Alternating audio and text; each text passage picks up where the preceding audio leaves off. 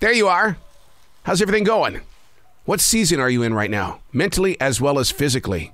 Mentally, are you like fall and you're shedding some leaves? Springtime, maybe, where you're growing new thoughts? Where are you at mentally and physically? I think that's one of the reasons why I love to meditate. It's you can clear your mind in ways that the everyday world doesn't allow you to do. But when you find that place, that little moment where you can just meditate, it allows the mind, body, and soul to move through some seasons. We've talked about this before. Meditating in the middle of the night is such a great thing, but we've got to understand and convince ourselves it is not sleeping, it is only resting the mind. There's so much purity that moves through the entire body that it becomes infectious to find places and moments to truly meditate. Now, my only wish is to locate the source of upbeat energy after several minutes within mindfulness and a cleared mind. Springing to life with enormous energy? That's not something I've experienced yet. It's more like a casual stretching, like a butterfly escaping a cocoon. My wings are wet and my mind hasn't locked in on flight.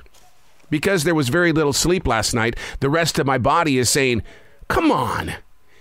I'm still carrying the weight of yesterday into what is going to be a brand new day. I- have got expressions from my past. If you meditate, you must find the right time to truly sleep. The two can become beautiful pieces of harmony in your life because the rest of the world is out of control chaos. Hey, it's Arroe. This is The Choice. This is what I was writing while the sun was waking up on a brilliant new day. Meditation is one of those things that a lot of people will say, Well, I, I tried it, but my mind wouldn't shut off. That's the whole idea. Is, is to learn how to get inside.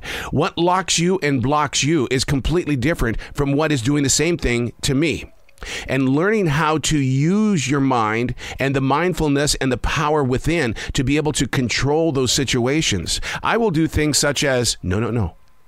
Clear your mind. No words. Don't bounce your foot. Don't move your fingers. Just feel what's around you.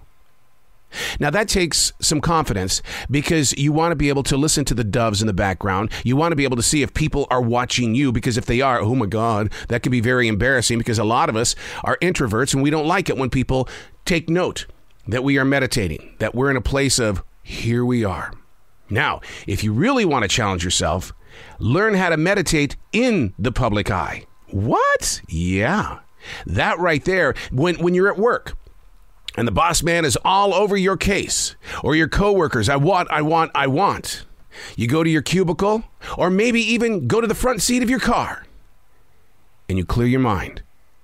You allow everything around you. Don't move your feet, don't move your fingers, don't move your nose. Just allow everything around you to seep inside. But remember, you're only resting your mind. So when you wake up in the middle of the night and you're going, why do I have insomnia? Meditation is a great way to clear your mind because of the stress or the anxiety that caused you to wake up. Like, for instance, I'll give you a good example. I popped my eyes open at 2 o'clock this morning because I had a crazy idea. I forgot to turn off the Wi Fi in the RV. I went out to the RV. The Wi Fi was put away two days ago during the ice cream social. I don't know why my mind told me at 2 o'clock, you forgot to put the Wi Fi away. But I used meditation to clear the mind, to allow the universe to embrace the moment. It's going to take practice. But the thing about it is, I learned this in martial arts as I became a third degree black belt. Practice is what we do out of the classroom. But you can practice poorly. So, what I want you to do is, I want you to look into meditation and I want you to talk with people who do meditate because there's a lot of books out there with a lot of propaganda in it.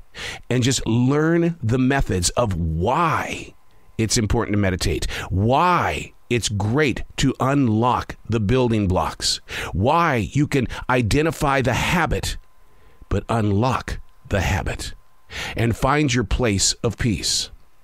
But it's going to take some work. I'm Arroe, and that's what I was writing while the sun was waking up on a brilliant new day.